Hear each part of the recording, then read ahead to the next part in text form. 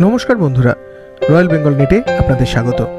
প্রিয় বন্ধুরা, যারা এখনও চ্যানেলটি সাবস্ক্রাইব করেননি, তারা অবশ্যই সাবস্ক্রাইব করবেন। আর পাশে বেল আইকন টিপতে ভুলবেন না। আজ আপনাদের জানাব ভারতের বাইরে ভারতীয় সংস্কৃতির কথা। আজ বলব গায়ানা দেশের কথা। লাতিন আমেরিকার উত্তরাঞ্চলের একটি ছোট্ট দেশ। উনিশশো ছেষট্টি সালে স্বাধীনতা পায় ব্রিটিশ উপনিবেশ থেকে। তার আগে নাম ছিল ব্রিটিশ গায়ানা। ক্যারিবিয়ান দ্বীপপুঞ্জের সঙ্গে সামাজিক, সাংস্কৃতিক ঐতিহাসিক ও অর্থনৈতিক মিল থাকার জন্য এই দেশ ক্যারিবিয়ান দেশ হিসেবেই ধরা হয় এবং ওয়েস্ট ইন্ডিজ দেশগুলোর মধ্যে অন্তর্ভুক্ত হয় গায়ানা। দেশটির রাজধানী হল জর্জ টাউন বর্তমানে দেশটিতে রাজনৈতিক স্থিতিশীলতা রয়েছে। আর রয়েছে উন্নত ভারতীয় সংস্কৃতি বা হিন্দু সংস্কৃতি। দেশটির সাংবিধানিক নাম the cooperative republic of Guyana. Latin আমেরিকার অন্যান্য দেশগুলো স্প্যানিশ ভাষায় কথা বললেও গায়না ব্রিটিশ অধীন থাকার কারণে এই দেশে ভাষা ইংরাজি। আর দ্বিতীয় ভাষা হলো হিন্দুস্তানি। গায়না দেশটির পূর্বে সুরিনাম, পশ্চিমে ভেনিজুয়েলা, উত্তরে আটলান্টিক মহাসাগর, দক্ষিণ ও দক্ষিণ পশ্চিমে বৃহৎ দেশ ব্রাজিল। আঠেরোশো সালের পর ভারত থেকে আখের ক্ষেত ও কলকারখানায় কাজ করার জন্য ভারতের বাংলা, বিহার, উড়িষ্যা, তামিলনাড়ু ও উত্তরপ্রদেশ থেকে প্রচুর শ্রমিক পাড়ি দিয়েছিল গায়ানাতে। সেজন্য আজ গায়ানার মোট জনসংখ্যা পঁয়তাল্লিশ শতাংশই ভারতীয় বংশভূত আর ভারতীয়রাই এখানে সংখ্যাগরিষ্ঠ জাতি। এদের বলা হয় ইন্দো গায়ানিজ বাকি বত্রিশ শতাংশ হল আফ্রো গায়ানিজ যাদের আফ্রিকা থেকে কৃতদাস হিসাবে এনেছিল ব্রিটিশরা। ষোলো শতাংশ মিশ্রিত জাতি, ভারতীয়, চীনা ও আফ্রিকানদের রক্ত প্রবাহিত। আর সবচেয়ে বড় ঘটনা হলো এই দেশকে স্বাধীনতা এনে দিয়েছিলেন একজন ভারতীয়। ভারতের স্বাধীনতার জনক নেতাজি সুভাষচন্দ্র বসুর মতোই গায়ানার স্বাধীনতা সংগ্রামী ছেদি ভরত জগন। সব ধর্মের ও বর্ণের গায়ানিজ, যেমন ভারতীয়, আফ্রো, চীনা, পর্তুগিজ, আমেরিকান ও মুসলিমদের একত্রিত করে স্বাধীনতার ডাক দেন। সঙ্গে ছিলেন আরেক ভারতীয় বংশভূত নেতা মানসিংহ জয়নারায়ণ। দীর্ঘ লড়াইয়ের পর ব্রিটিশের কাছ থেকে স্বাধীনতা ছিনিয়ে নেন তারা। ব্রিটিশ গায়ানা নাম থেকে হয় গায়না। গায়নার মোট জনসংখ্যা আট লাখ।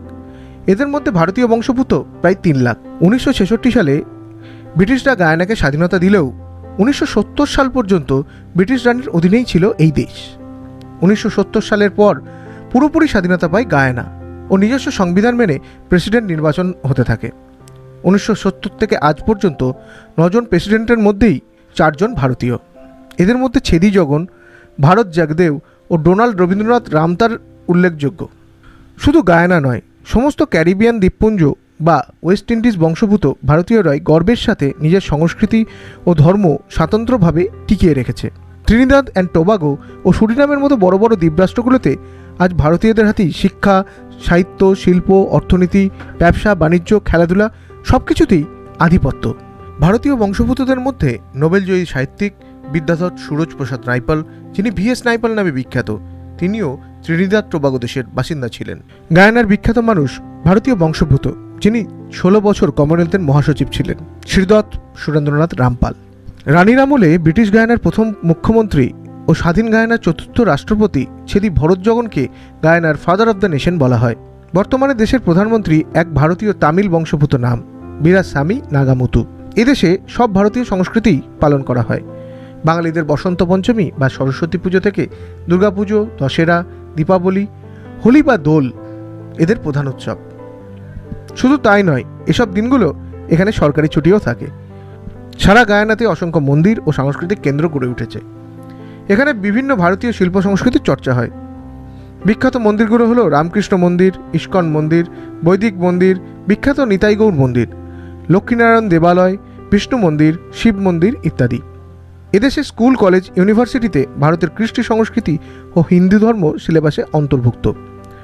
রাজনীতি, সাহিত্য ব্যবসা ছাড়াও এদেশের ক্রীড়াক্ষেত্রে ভারতীয়দের জয় জয়কার। যেমন ক্রিকেট বিশ্বে নামকরা খেলোয়াড় আলভিন কারিচরণ, রোহন কানহাই, শিবনারায়ণ চন্দ্রপাল সুরিন নারিন বা নারায়ণ, দেবেন্দ্র বিশু, দীনেশ রামদিন রামনারেশ সারওয়ান প্রভৃতি যারা ভারতীয় বংশভূত মানুষরা আজ গায়ানা দেশকে আপন করে উন্নত করে চলেছে। আজ এ পর্যন্তই বন্ধুরা। আমাদের ভিডিও ভালো লাগলে শেয়ার ও লাইক করতে ভুলবেন না। আর ভালো ভালো তথ্য পেতে আমাদের চ্যানেলটি সাবস্ক্রাইব করুন। আর পাশের বেল আইকনটি ক্লিক করুন। সমস্ত আপডেট সরাসরি আপনার কাছে পেতে। ভালো থাকবেন নমস্কার।